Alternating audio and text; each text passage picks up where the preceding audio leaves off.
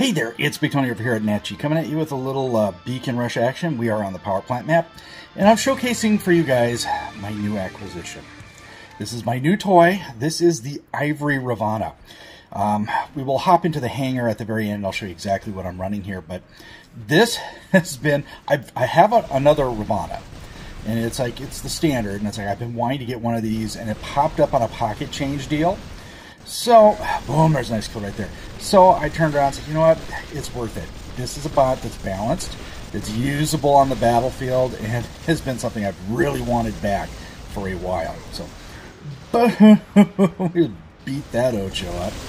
Um, Ravana is probably the most balanced and elegant bots in the game.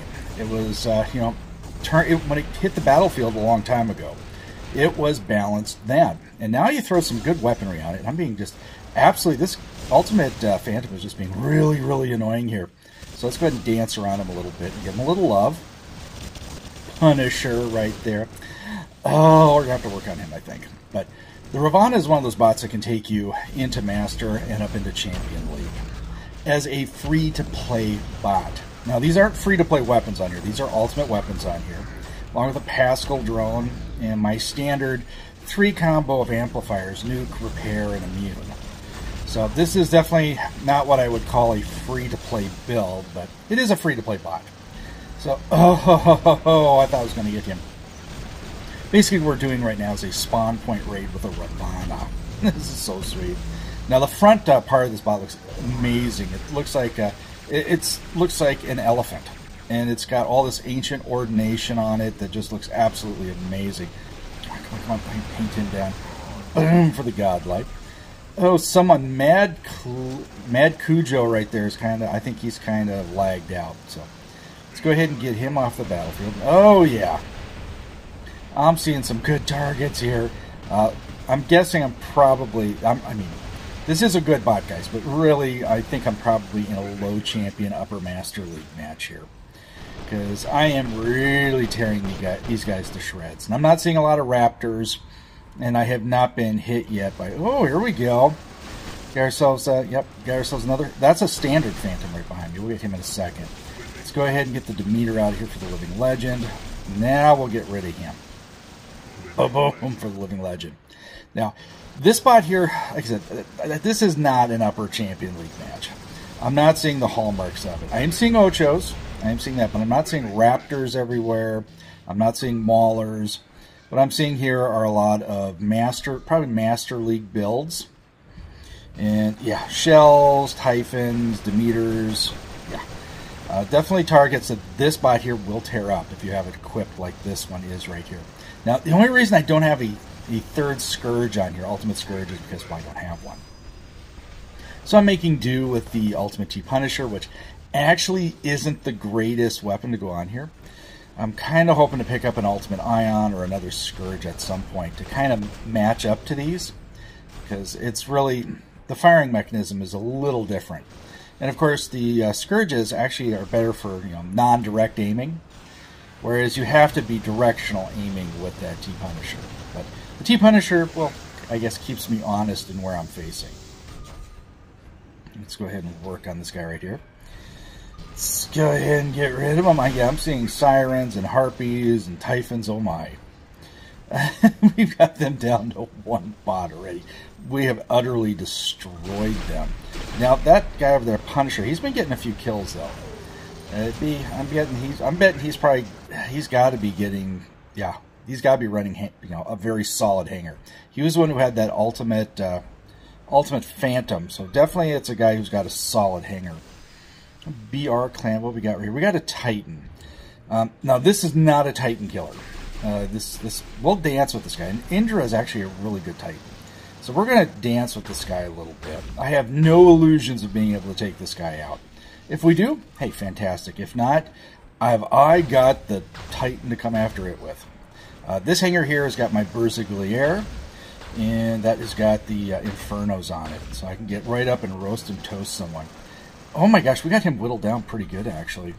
I don't. If I had a full hit full hit point complement here, I probably I could have probably danced him out and got him, but still a nice nice run. So let's go ahead and drop the Titan, Yeah, I get, I get oh, yep. Um, he's in range, so I can do a little, little flamethrower action on him. One more, and I can take a jump. Let's give him a little up. Oh, I'm not even gonna get the kill on him. Uh, solid, solid build right there in uh, both the Bersagliere and the Ravana. So let's just go ahead and take a look at the scores and we'll hop over into the hangar. 15 kills, two beacon caps, chunk of damage, just a lot of fun. Alrighty guys, let's hop into the hangar. Alrighty guys, we're in the hangar. Let's do a quick rundown here. Let's look at my brand new toy, and that is the Ivory Ravana. I just MK3'd it. And what I'm looking here is Poe Pilot. I've got the Pascal drone on there. Pascal drone is getting a nerf. That's the only portion of this that's getting a nerf. So i will be looking at other drones to maybe complement it, or maybe the Pascal drone and its nerf capability will still suffice.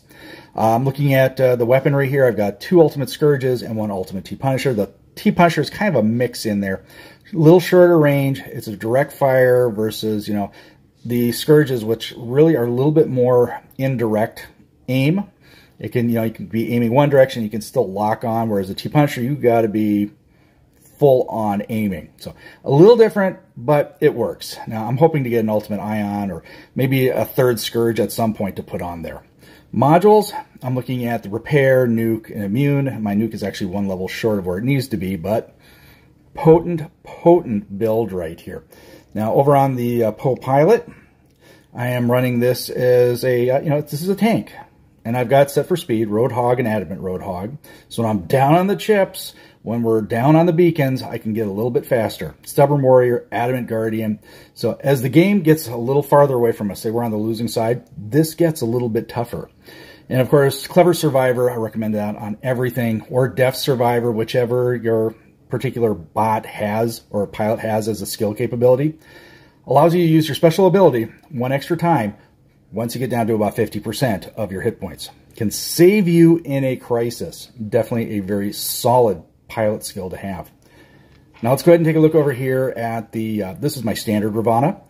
And what I've got here is just a little bit of different build. It looks, you know, I've got the specialty skin on it, which is really cool, the underworld skin.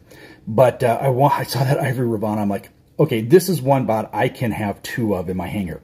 Because this thing ain't getting nerfed anytime soon. But it is a bot that I've seen run in heavy hangars all the way up into lower end of Legends League. So this can be used, guys, in the hands of a very, very skilled player. So now my PoePilot here is a little different. I'm focusing on the uh, the use of the phase shift. Quartermaster Module Expert. See those skills right there? Those are the ones that are going to give me a longer phase shift and then a quicker reload of that phase shift. So this should actually have a little bit more ability, a little more danceability on the field. I call it that because Ravana does this transcendence to non-transcendence back, and you can do a lot of scooting around, and I call it the Ravana dance. And it really is a fun thing to do on the battlefield. Alrighty, guys. Um, it's going to be it. That's going to be a wrap up here. Uh, Ravana, pick it up. Free to play. You can run a lot of good things on it. You can run the maces on it. You can run the havocs on it. You can run, uh, heck, you can run the, the cryos on it. Actually, are getting a bump in the next update. Might actually be a pretty decent weapon to run on there. So definitely something you should explore if you're a free-to-play or pocket change player. All right, guys, time to bail out of here. Hope you liked it. If you did, give it a thumbs up. Subscribe to the channel. Hit that bell for notifications. That way you know when I'm dropping it. Stay safe and healthy. Watch out for each other. And I'll catch you on the battlefield.